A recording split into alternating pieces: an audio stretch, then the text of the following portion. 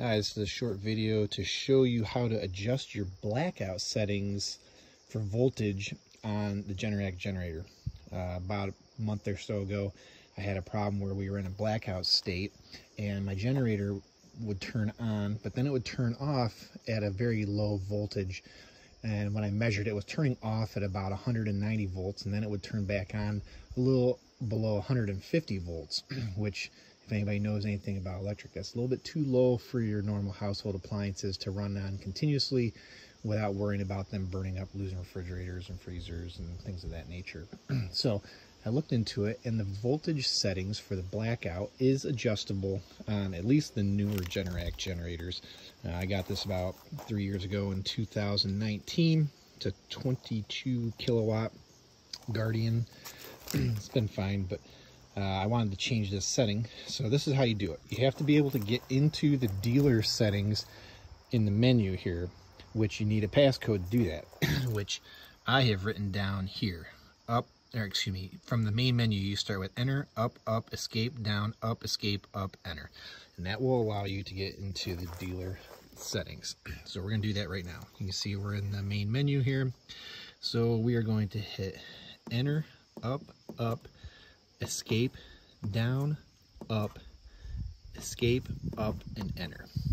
And then this should allow us to get into the dealer menu, which it does. See how it blinks dealer now? We hit enter, and you can get in here and you can change a whole bunch of different things. But what you want to change for the blackout settings is under dealer edit, I believe.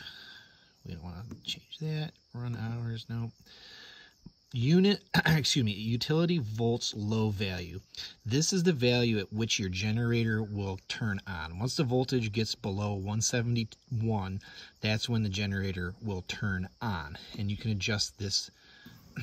Oh, sorry you have to hit enter to get in to adjust it and it only goes up to 171 it was set from the factory at 140 which is far too low I think even 171 is too low considering you're supposed to be at 240, but this is the maximum you can set it at. And then the unit, uh, excuse me, utility recovery volts, which this is the voltage at which your generator will turn back off once you hit this level of voltage. And 216 is what I have reset mine to because that's as high as you can go.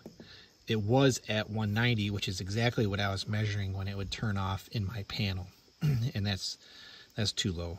My appliances didn't care for that. So I've reset mine to the 216.